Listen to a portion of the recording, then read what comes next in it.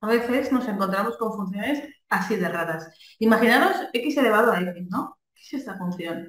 Eh, porque podríamos decir, bueno, x elevado al cuadrado es un polinomio, la derivada de x al cuadrado es 2x. Ok.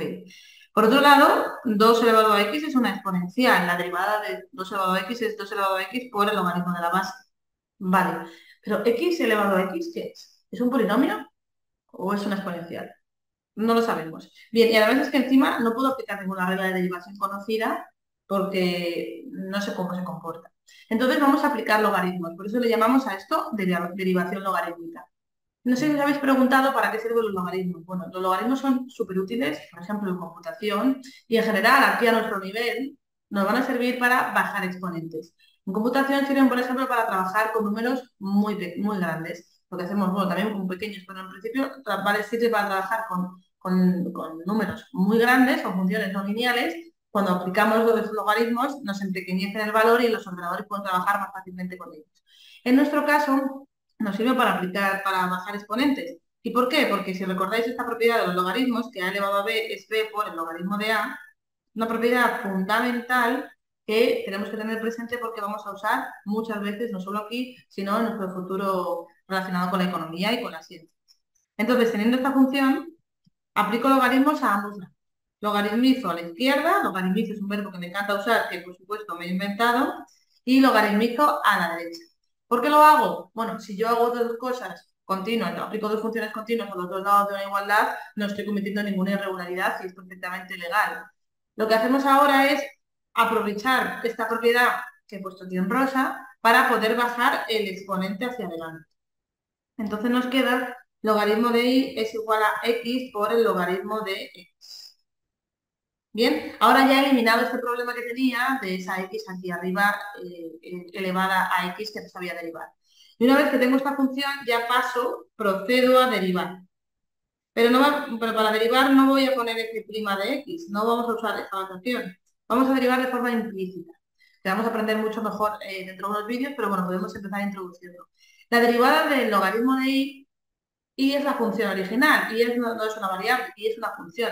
Así que la derivada del logaritmo de y, aprovechando la regla de la cadena, es 1 partido de y por la derivada de lo de dentro. La derivada de lo de dentro, como no sé quién es y, es y'. Es igual a, y derivamos esta parte. ¿Veis? Derivamos los dos lados de la igualdad. Derivamos el logaritmo de y de forma implícita, es decir, usando la regla de la cadena, y derivamos la parte de la derecha de la igualdad, que es un producto. Derivado de la primero por los segundos sin derivar, más lo primero sin derivar por los segundos derivados. Arreglamos un poquito esto, tenemos y partido de y, y prima partido de y, y aquí operamos uno por logaritmo y logaritmo, y en este caso esta x con esta x se nos va y nos queda simplemente un 1. Continúo por aquí y prima. Paso este, este, esta y, la voy a pasar al otro lado multiplicando. Porque mi objetivo es saber la derivada, es decir, dejarla sola a la izquierda, por logaritmo de x más 1 y está ahí, sustituyo el valor que tenía, que era x elevado a la x. Ya tengo una derivada implícita, pero solo respecto a x. ¿Vale? Es bastante abstracto y la clave, desde luego, ha sido la propiedad de los logaritmos. Voy a aprovechar y voy a aplicar este mismo método para otra derivada, que es la que tengo aquí a la derecha, y os propongo que hagáis un par de ejemplos más con x elevado al coseno de x o, por ejemplo, coseno de x, todo ello elevado a x. Podéis hacerlo también con seno. Los ejemplos que vamos a hacer son siempre algo sencillo porque luego en la aplicación real en la economía tampoco se complica mucho más de esto. Bien, vamos a aplicar luego aquí el método que acabo de explicar. Logaritmizamos a ambos lados, es decir, aplicamos logaritmos, logaritmo de y igual a el logaritmo de logaritmo de x elevado a x. Fijaros, logaritmo de logaritmo. Bien, arreglamos esto un poquito, que es bajando el exponente delante, que era un poco el objetivo que teníamos aquí. Y en el siguiente paso ya procedo a derivar. La derivada